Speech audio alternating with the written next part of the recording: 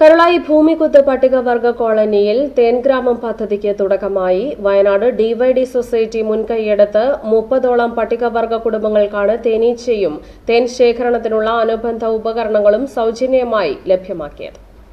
കേന്ദ്ര ഗവൺമെന്റിന്റെ കീഴിലുള്ള ഖാദി ആൻഡ് വില്ലേജ് ഇൻഡസ്ട്രീസ് കമ്മീഷനു കീഴിൽ അഞ്ച് ദിവസം നീണ്ടുനിന്ന പരിശീലനവും ആദിവാസി തേനീച്ച കർഷകർക്ക് നൽകിയിരുന്നു.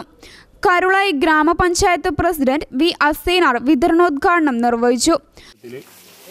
ഭൂമിക്കുത്ത് ഭൂമിക്കുത്ത് നമ്മുടെ പ്രയാസം ബുദ്ധിമുട്ടും അനുഭവിക്കുന്ന എസ് ടി കുടുംബങ്ങൾക്ക് അവരെ ഏകദേശം ഇരുപത്തി ഒമ്പത് കുടുംബങ്ങൾക്ക് ജീവിക്കുന്നതിന് വേണ്ടിയിട്ടുള്ള തേനീച്ച വളർത്തൽ പദ്ധതി ഉൾപ്പെടുത്തിക്കൊണ്ട് വലിയ ഒരു പദ്ധതി രൂപം നൽകിയിരിക്കുക അവർക്ക് ജീവിക്കാൻ ആവശ്യമായ സാഹചര്യം ഒരുക്കി അതിനുവേണ്ടി പ്രവർത്തിച്ച ഈസ്റ്റോൺ പദ്ധതികൾ മഹിളാ സമിതിയുടെ ഭാരവാഹികൾ അതുമായി ബന്ധപ്പെട്ട് ഇതിന്റെ ട്രസ്റ്റിന്റെ ഭാരവാഹികൾ എല്ലാവരെയും കേരള ഗ്രാമപഞ്ചായത്തിന് വേണ്ടി അഭിനന്ദിക്കുകയാണ്.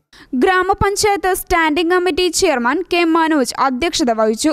K V I C executive Gomathi Nayakam പരിശീലനം പൂർത്തിയാക്കിയവർക്കുള്ള സർട്ടിഫിക്കറ്റ് വിതരണം നിർവഹിച്ചു. കൽപ്പറ്റ നഗരസഭ ക്ഷേമകാര്യ സ്ഥിരം സമിതി അധ്യക്ഷൻ T Mani ഡിവൈഡി society chairman Balakrishnan Joseph doctor Ambi Chirayil Shuhaib Mylampara Sunil Nedungayam V Fasila Ajitha Sumitha Sasi Pottakkad എന്നിവർ സംസാരിച്ചു. News bureau Karulayi.